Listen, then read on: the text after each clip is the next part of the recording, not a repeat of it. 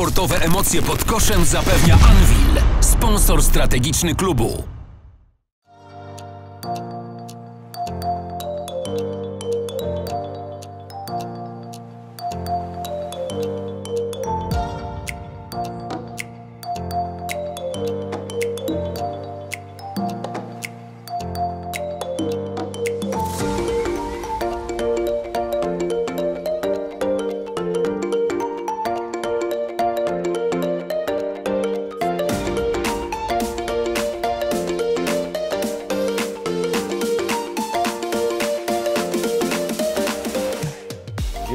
Witam wszystkich kibiców w trzecim odcinku cyklu Włocławski Freak.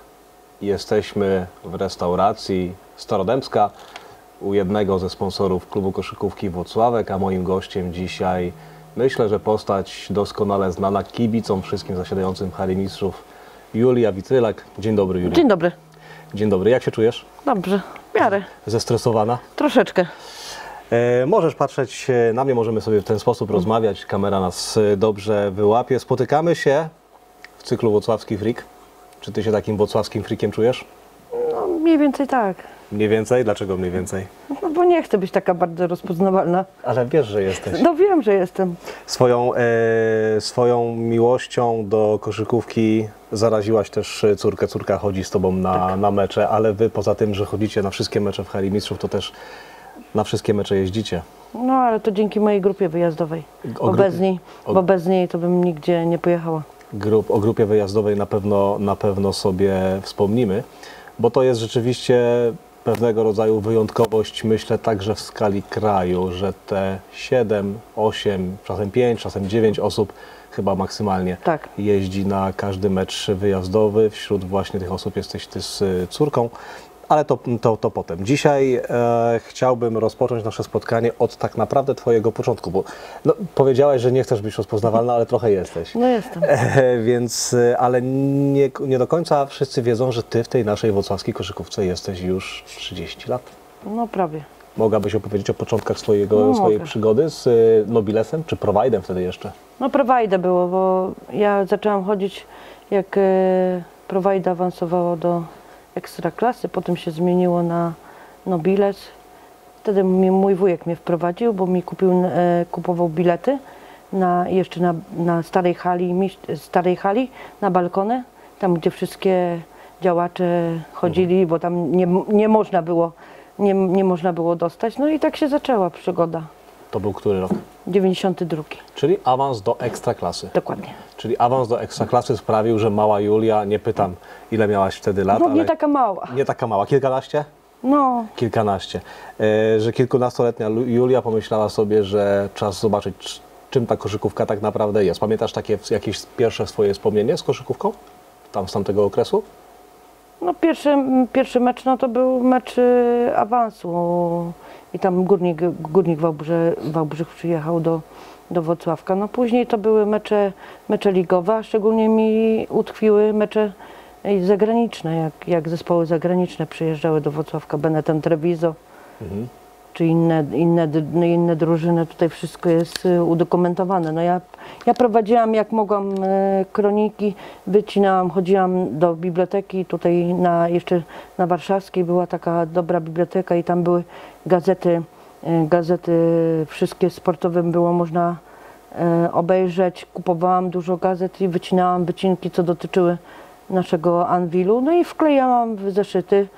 Mm, Później no, też opisywałam, y, w niektórym, niektórych sezonach opisywałam każdą minutę po każdej minucie, tak jak tutaj można e, zobaczyć, y, kto ile punktów, na pewno kto ile punktów zdobył, jaki wynik meczu był, kto był najlepszym, najlepszym e, koszykarzem w danym meczu. No i to tak się wciągnęło. To jest e, gigantyczna praca. Ja może pozwolę sobie te kroniki, które tu mamy, mam nadzieję, że Artur później zrobisz zbliżenie.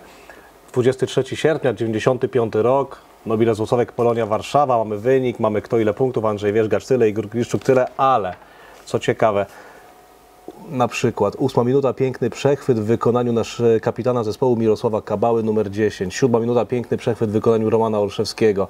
Piąta minuta, piękny blok w wykonaniu bardzo znanego i lubianego koszykarza pod pseudonimem Oshi, czyli Romana Olszewskiego. To jest gigantyczna praca. No jest. Ja to pisałam na, na takim notesiku na brudno w, na meczu, a później to po prostu w domu, w domu to przepisywałam co, co po kolei, żeby to miało ład i skład. No bo mówię, z tych moich wycinków y, takich małych, no to by się nikt nie rozczytał, a to jednak, jednak teraz widać, że, że pamiątka pozostała. No, pamiątka jest e, wyjątkowa, absolutnie wyjątkowa.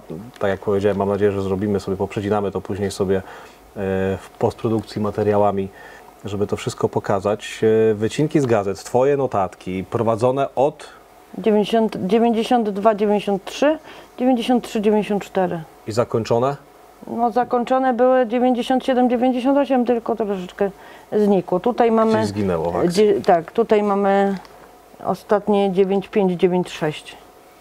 Dobrze. Y, powiedziałaś o takim, o tym wspomnieniach y, tego, tych meczów drużyn zagranicznych. Dlaczego to utkwiło Ci w pamięci w sposób No bo to były zespoły sł- sławne. No, w Polsce mało, mało kto wtedy, do Polski mało, kto, mało rzadko przyjeżdżały zespoły zagraniczne. No tylko, tylko pamiętam do, wtedy do Nobilesu Wrocławek i do, i do Śląska Eski Wrocław przyjeżdżały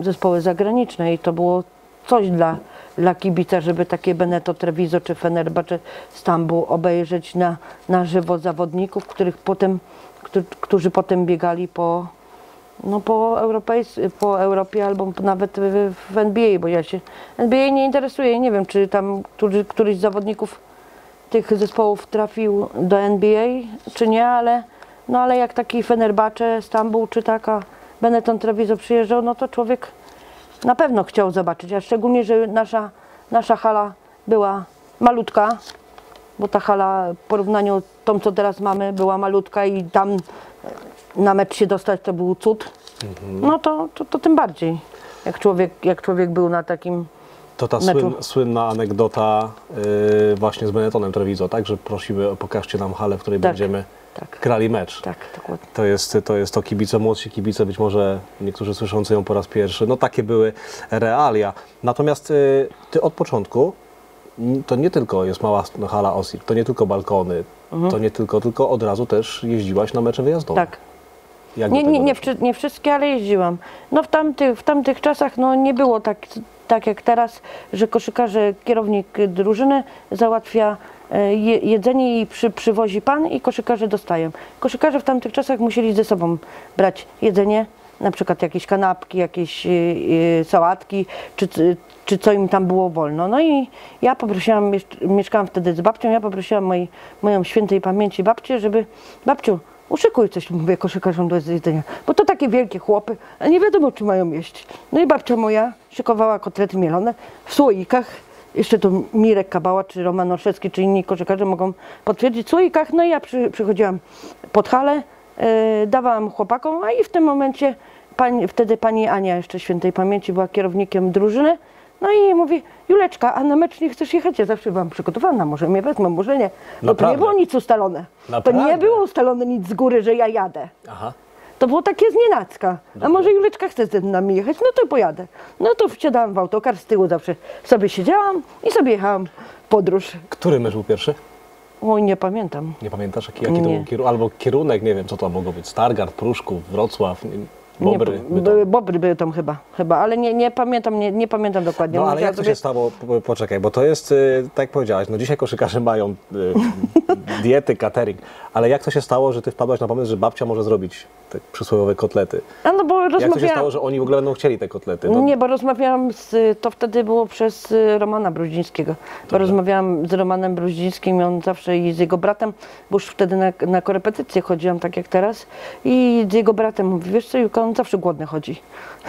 Roman, że zawsze głodny chodzi. Ja mówię, no dobra, no to wejdę w pomysł i, i, i zrobię, babcia zawsze dobre, smaczne kotlety robiła, no to wejdę w pomysł i zrobię i przyniosę.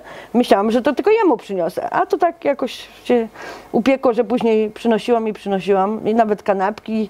I te kotlety mielone to jak mówię, starsi koszykarze takich jak e, czy Roman Olszewski, czy Mirek Kabała, czy Grzesiu Skiba to do tej pory wspominają, że kotlety były dobre. Nawet na jednym, na jednym z zdjęć, których mam, Możesz? tak, na jednym z zdjęć, których mam jest chyba podpisane jak, jak je wzięłam, bo mam tych zdjęć pełno. A, albo i nie wzięłam.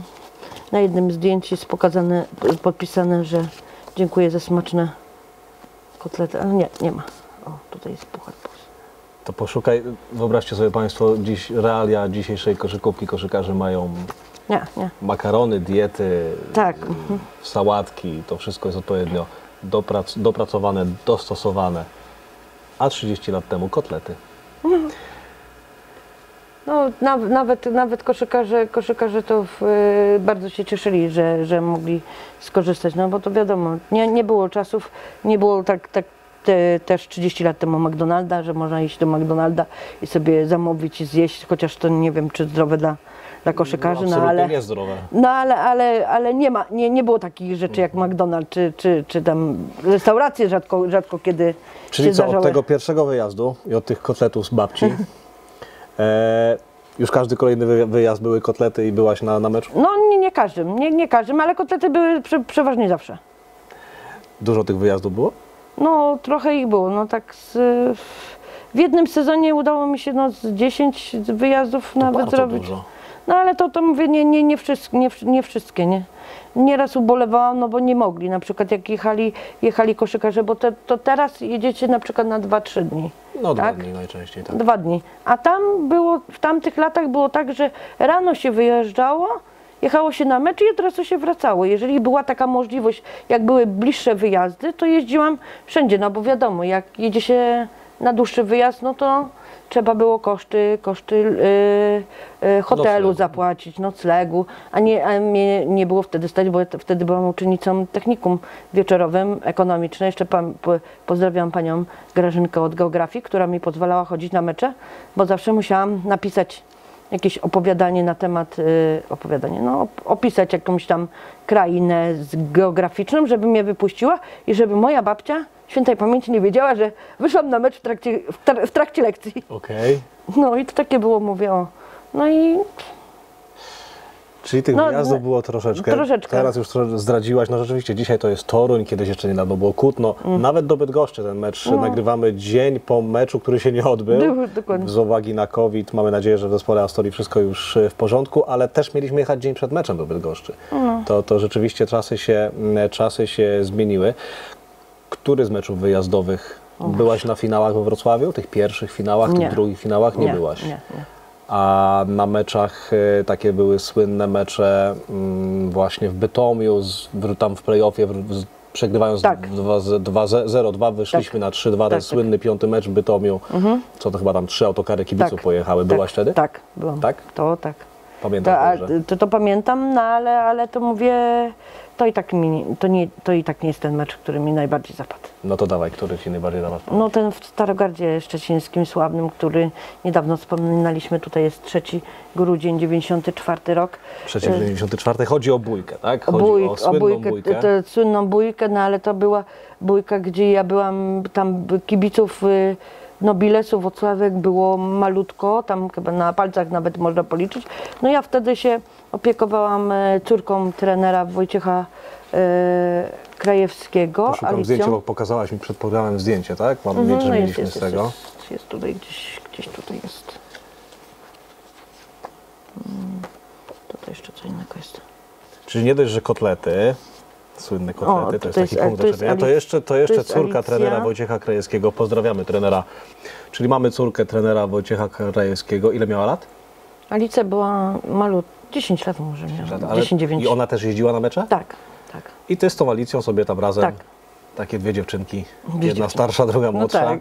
E, co to znaczy, że się opiekowałaś? Po prostu no, jak- siedziałyście jak- razem? Jak, tak, siedziały, siedzi- siedziałyśmy razem, no jak trener szedł na przykład na, na trening, czy na, na przykład na konferencję prasową, no to wtedy dziecko nie mogło iść, no to, to ja się wtedy nią opiekowałam podczas, podczas wyjazdów, nie? Albo jak ty y, mieli na przykład y, rozmowę, tak jak teraz mają Odprawę. odprawę, no to też, to też A dziecko na meczu gdzie siedziałyście? Za ławką? za ławką. Zazwyczaj za, za, za ławką. To wszystko bezpieczne to było? No, nie, nie za bardzo w tamtych czasach, no ale I wróćmy do tego meczu w Stargardzie szczecińskim, wtedy jeszcze szczecińskim. Mhm. E, I co? Co z tą bójką? A co z tą Co bójką? No, pamiętasz? no to, to, to, to pamiętam, że no Eggleston podleciał do, y, do Romana Olszewskiego i Oshi po prostu dostał w W łeb? łeb, czy tam w buzię. No i o, oczywiście ja, fanka wielka Romana, bu, bu, bu, zamiast się dzieckiem opiekować, to bu, bu, bu. Potem wleciał w to, w to Heniu Wardach, świętej pamięci, potem Siergiej, Żołudok, no i Igor jak zwykle nasza zadziora. No, nasza zadziora też się wtrąciło, no i mecz się, ten sławny mecz się skończył w, w trzy osoby, no bo Trzech- były trzech na trzech. trzech na trzech, bo była dy- dyskwalifikacja. No niektóre, e, niektóre tutaj prasy kłamstwa popisali. Dlaczego?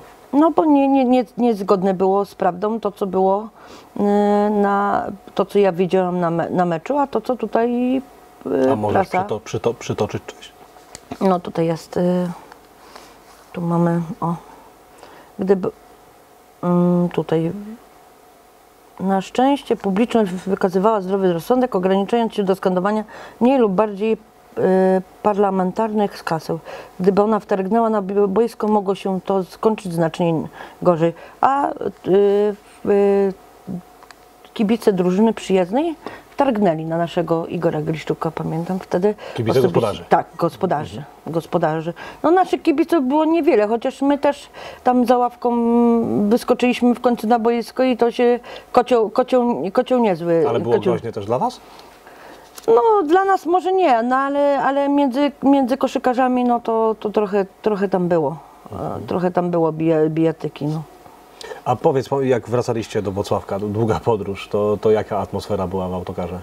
No w autokarze, no nie, no to już później, później jak y, opadły, opadły, jak to się mówi, no, Emocje. emocje opadły, no to wtedy to, to już, ale, ale wspominaliśmy, no obici byli, obici, obici byli koszykarze i tacy poturbowani po tym meczu, ale najważniejsze było, tak jak to trener powiedział, najważniejsze było zwycięstwo.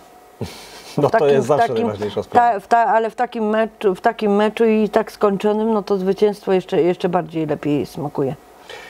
Julia, czyli tak, mamy jako młoda dziewczyna mm, miałaś pewnego rodzaju, no nie wiem czy na, można nazwać to obowiązki, ale też, kwest, mm, też takie rzeczy związane z klubem, bo prowadziłaś kronikę. Tak.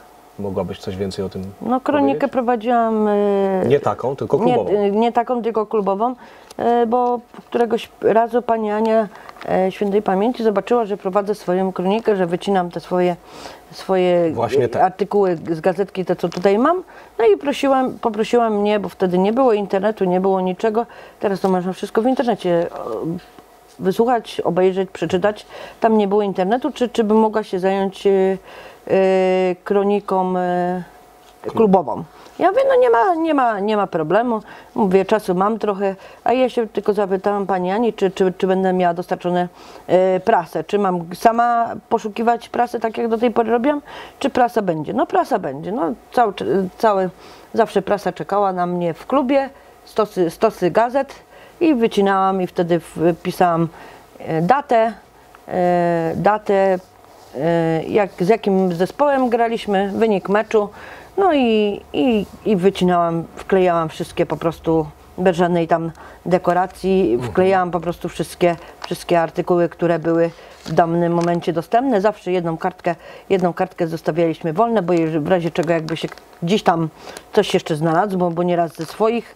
Ja jeszcze dodatkowo szukałam i, i, i znajdowałam materiały, to się doklejało i tak, i tak powstawała kronika. No teraz to, to, to nierealne, no bo teraz to internet. No teraz troszeczkę, troszeczkę, troszeczkę inaczej, aczkolwiek e, czasy się zmieniły też w tym kontekście, że podejrzewam, że tych gazet było multum фантом No, a teraz też, mało. e, No basket, każda albo- by, basket był, y, k- gdzie, gdzie można było dużo, dużo wyczytać, teraz już nie ma. Ja jak kiedyś miałam te wszystkie gazety basketu, no ale w trakcie, mówię, przeprowadzek, przeprowadzek mówię, no y, po prostu Poginęły. poginęły, nie? Na szczęście To- mamy to- bardzo duże zbiory też w klubie. Szcz- Szczęśliwie też y, twój poprzednik, pan Andrzej Urlich, nam magazynuje razem ze swoim No. towarzyszem Mirkiem.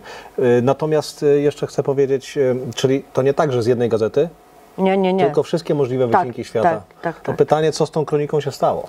To jest teraz pytanie zasadne. A, to tego już nie wiem. Ona została w klubie. No i teraz ja nie kojarzę, żeby takowa była gdzieś w magazynie, ale może ja się mylę. Musiałbym zapytać prezesa Lewandowskiego. A pamiętasz prezesa Lewandowskiego z y, tamtych czasów lat 90.? Czy nie Mm. pamiętasz? Nie, ja pre, prezesa Lewandowskiego to kojarzyłam dopiero jak był prezesem Fazego, A, dyrektorem. dyrektorem. Czy, Czyli późniejsze lata, bo, bo, bo prezes Ty- Lewandowski pracuje w koszykówce 20, chyba nie pomylę się, 4 lata, więc to 90, gdzieś o 8, 8 rok musiał Ale być. to u nas w, Nobilesie był w, i no, w tak, tak, tak, tak. Ja pamiętam tylko pre, tego, prezesa Krygiera i Polatowskiego. No, gdzieś tam czy, się, czy, gdzieś tam czy, się czy na pewno... Krygier, Krygier był prezesem czy dyrektorem? Arkadiusz Krygier był No. dyrektorem klubu. No.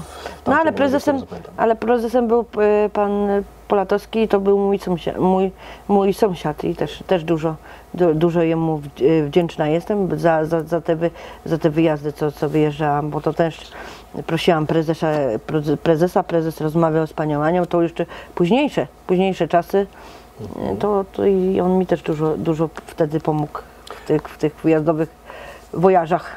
A pamiętasz przeprowadzkę do Hali Mistrzów? Jak ją Pamiętam. odbierasz?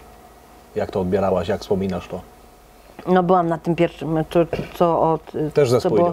Tak, ze, też ze Spójnią i byłam na tym pierwszym meczu, jak otwierali halę Mieszów. No na początku, na początku nie mogłam się po prostu przyzwyczaić, bo to wielkie, nie było takiej akustyki jak w tej malutkiej naszej, na tym na, naszym malutkim kurniku. W kurniku jak się zaczęło huczeć, to tak jak teraz obecnie w Gryfi, No, to w prawda. Słupsku, to, To taka a, a, akustyka. A jak się przyszło do hali Mieszów, ładnie, ładnie się oglądało, bo wielka przestrzeń, ale, ale jednak. Tak, tak, tak samo mogę teraz wspomnieć o Nobilesie. Ja bardzo. przez, przez pewien czas, jak już był Anvil, to ja nigdy nie, nie, nie mogłam, nie, nie wiem, przez, przez, przez mowę mi nie przeszło, żeby śpiewać Anvil, tylko Nobiles, Nobiles, Nobiles. Tak jak ten y, szalik mam, ja mam, miałam swój szalik i miałam koszulkę y, Romana, Romana Olszewskiego, mojego idola, o właśnie tutaj można, tu można powiedzieć. Tutaj jest szalik i, ten, i, i szalik i koszulka. Miałam koszulkę Romana Olszewskiego. Yy, I w niej chodziłam, teraz nie ma, bo ona poszła na aukcję dla, dla, dla tam pamiętam, dla dziecka chorego i dlatego jej nie mam, nie mam przy sobie. A ten szalik to mam od kolegi, który ma do dnia dzisiejszego. I on na mecze Anwilów w hali mistrzów chodzi właśnie szalikiem Nobilesu. Cały czas? Cały czas. Mariusz Lewandowski i Robert cho- chodzą obydwoje na mecze tyle lat co ja.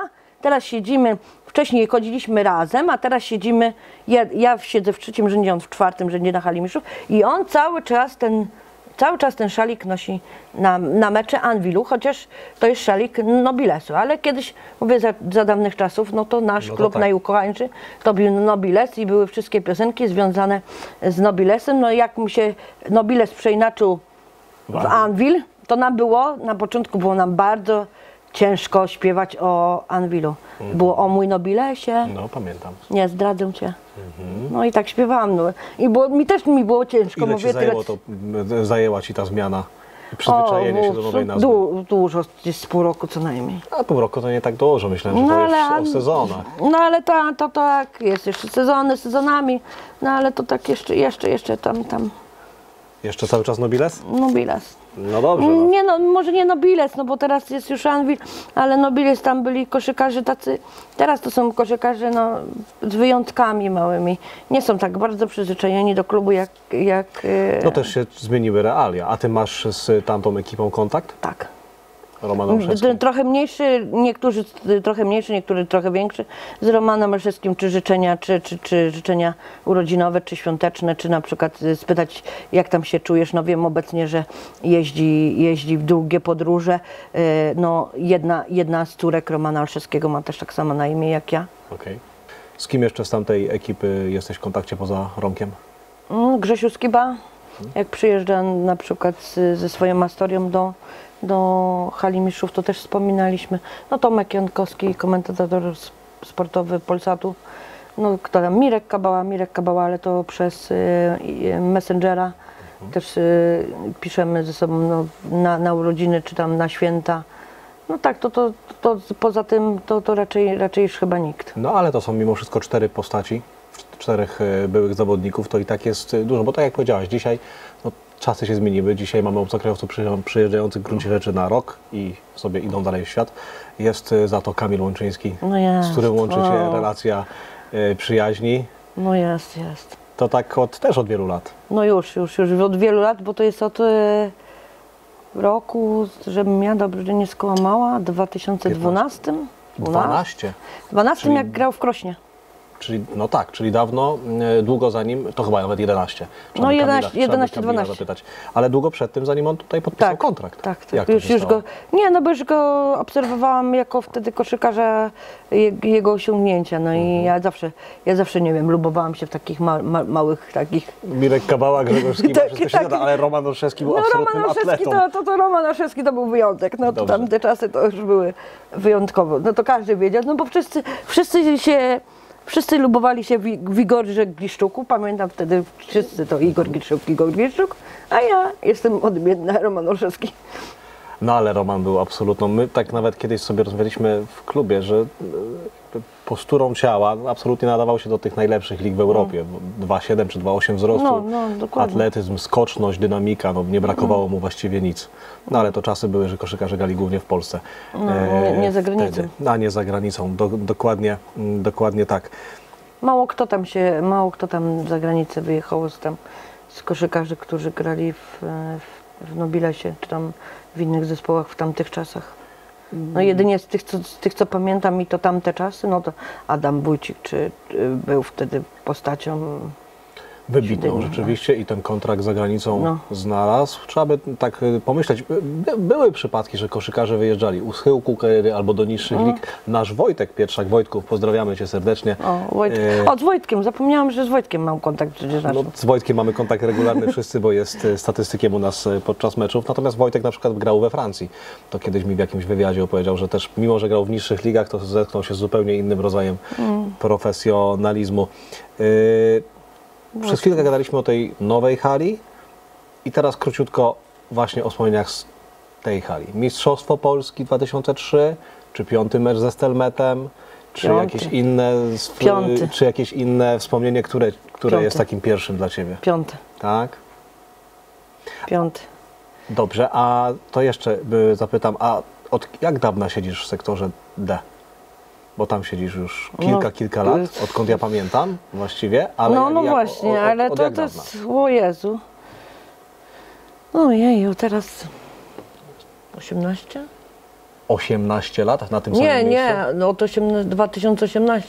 A od Bo- 2000, ja myślę, że na 100% y, jeszcze wcześniej. Mo, możliwe. Wiem, że na pewno siedzie, siedziałam przez jakiś czas w hali mistrzów, tam za, za, za, za, za sektorem, za koszami, tam gdzie jest teraz sektor H1 i A1, bo tam był mm, klub, y, klub kibica Anwilu. Anwilu Zakładowy. zakładowy, no i tam byliśmy. Później się przenieśliśmy pod drugi kosz, pod sektor D1 i D1 i tam jest nie wiem, D1 i tam obok D1 To jest D2 jest taki, ten taki zakoszowy. no, no, no.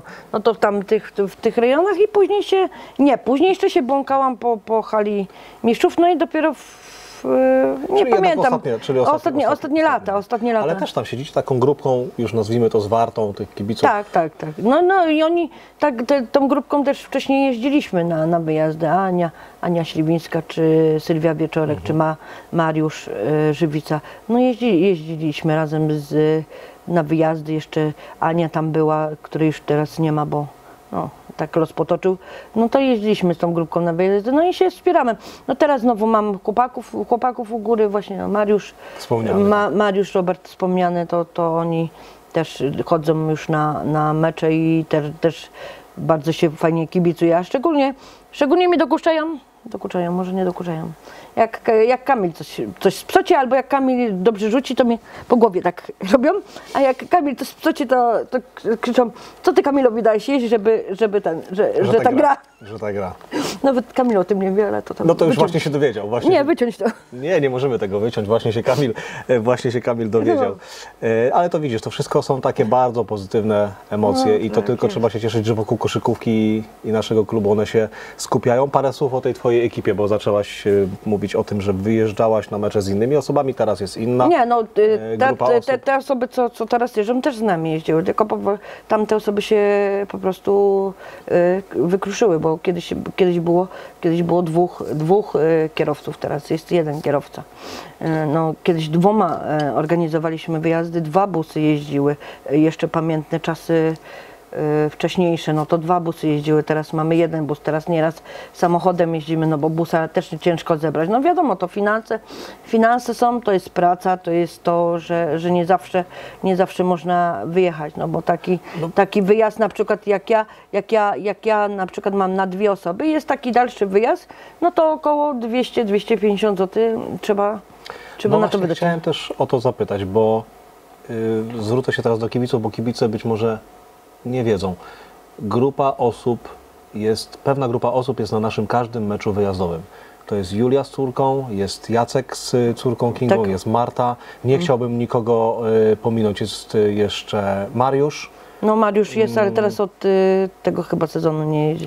W zeszłym sezonie jeździł tak Mariusz, y, Krzysiek Kapura. Tak. Przepraszam, nie chcę nikogo pominąć, ale to jest, jesteście fenomenem. Jesteście absolutnie fenomenem i każdy z Was jest wrocławskim freakiem na swój sposób. No teraz, teraz Bardzo właśnie pozytywny. Kacper, Kacper, do, na, Kacper do, nas, do nas doszedł, też czę, często, często z nami, z nami jeździ. I No, teraz Ja z córką to tak. To, to chciałem podkreślić tą kwestię. Każdy ma jakąś rodzinę, każdy ma jakieś obowiązki, każdy ma pracę, każdy ma też jakąś pewnie inną pasję, którą mógłby Mm. się zająć. A wy jeździcie na mecze, czy to jest mecz o 15, 17, 20, czy to jest 100 km, czy No, najdalszy wyjazd chyba 450 gdzieś będzie do, do, do Szczecina. No wow. No jeszcze, jeszcze, jeszcze wcześniej było Krosno. Wcześniej było Krosno. Najdalszy z wyjazdów możliwych na sam koniec świata. Rzeczywiście. No to no jest i trasy, trasy niektóre nie są takie znów łatwe, żeby to, to pokonać. Pamiętam jak któregoś dnia to się śmialiśmy z naszą grupą kibiców i jechaliśmy do, Zielon- do Zielonej Góry. No to mieliśmy taką trasę, że nie wiem, tak, tak Jacek wybrał, czy tak było najwygodniej, żeby takie wertepy, takie brzużu, jeszcze lasy, jeszcze ciemno, ciemno głucho i my się śmiejemy z grupą naszą wyjazdową, że pan Janusz Jasiński nam psuje drogę Okej. psuje drogę, żebyśmy nie mogli dojechać. No tak się śmieliśmy kuli, w, ku- w, kule, w kulisach swoich, tak Ale y, dojeżdżacie zawsze. Czasem się spóźniacie, tam się to- zdarza, ale bardzo rzadko. Generalnie jesteście, tak, dojeżdżacie na każdym meczu. Nigdy się nie spóźniliśmy. Wydaje mi się, że raz albo Ale dwa. to jechaliśmy z, z, nie przez nas, A przez kogo? przepraszam, nie przez nas. Spóźniliśmy się, jak się spóźniliśmy, to się przez, spóźniliśmy przez klub kibica, na których czekaliśmy za biletami. A, dobra. Bo my nie mamy zawsze biletów od y, klubu, tylko musimy No tak, się starać tak. przez Tak, y, tak, klub tak. kibica. No nieraz się staramy sami, no tak, wiadomo. Tak, tak, tak, tak. Albo kupujemy przez, tak jak teraz była Warszawa, no to Warszawy było nas niewiele, bo było nas 5 czy 6 osób w, w obecnym sezonie, no bo klub nie dostał e, zezwolenia na grupę wyjazdową, a my po prostu Ja wy i tak kupi- byli- byliście. Chociaż się, chociaż się pożegnaliśmy z wami przed wyjazdem, tuż do, właśnie się dzięki Kamilowi dowiedziałam się, o której wyjeżdżacie, po, pożegnaliśmy się i życzyliśmy powodzenia przed wyjazdem, ale i tak się znaleźliśmy, bo otworzyli w ostatnim momencie No tak, rzeczywiście pamiętam. Pamiętam, bo widzieliśmy się jeszcze przed No. Tak, autobusem. tak. Masz, rację. A, ym, dobrze. Masz, zaczęłaś 30 lat temu bawić się w koszykówkę tutaj e, w naszym klubie. Masz mnóstwo niesamowitych wspomnień, mnóstwo przeżyć prywatnych, takich bardzo osobistych. Chociażby tutaj może pokażemy, jak jesteś na wyjeździe i z Romkiem Olszewskim gdzieś sobie siedzicie w hotelu. No, Mistrzostwo Świata, do tego dzisiaj kibice ni- Nie. niestety, pewnie niestety nie mają już dostępu do takich, do takich e, miejsc. Przeżyłaś e, Mistrzostwa Polski, ten cały, to, tą całą drogę do pierwszego mistrzostwa, później troszkę Tak. spadek, kolejne dwa mistrzostwa w czasach Igora Milicicia, grę z, eu- w europejskich pucharach, bo byłaś też na meczu za granicą, tak. to nie jednym, pamiętam. Mm, Julia, czy ty masz jeszcze jakieś marzenia związane z Anwilem? Tak, Jakie? zdjęcia z drużyną. Co Całą. to znaczy? Co to znaczy? Na hali mistrzów zdjęcie z drużyną całą. Ale to przecież to tak, to, to, to jest, ja pytam o marzenia w kontekście jakichś takich... No to, to takie malutkie. Ale zawsze bym chciała mieć takie zdjęcie z całą drużyną. Mam z pojedynczymi koszykarzami, Koszykarzami. Ale zdjęcie z całą drużyną nigdy. No mam gdzieś tam, jestem w, bardzo w tle, jak zdobywali mistrzostwo w, w, w Ostrowie, czy mistrzostwo w Toruniu, to jestem gdzieś tam w tle, no bo byłam na tych wszystkich meczach razem, razem z córką, no ale takiego osobistego zdjęcia, jak na przykład przy, przyjeżdżają y, szkoły, czy jakieś tam grupy dzieci i mają takie zdjęcia z koszykarzami w tle hali mistrzów, takie, takie o. Wiesz co, ja myślę, że to jest do załatwienia od zaraz. Mam Dziękuję. nadzieję. Dziękuję Ci bardzo za, za to spotkanie. Dziękuję, przepraszam. Nie przepraszaj, nie ma za co. Myślę, że troszeczkę na początku byłaś tak, się stresowałaś, trochę spięta, ale, ale udało się wydobyć e, fajnych kilka historii.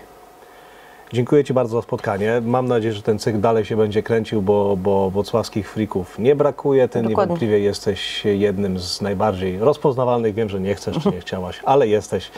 A cała przyjemność tego spotkania po mojej stronie. Dziękuję bardzo. Dziękuję bardzo i dziękuję Państwu. Dziękujemy.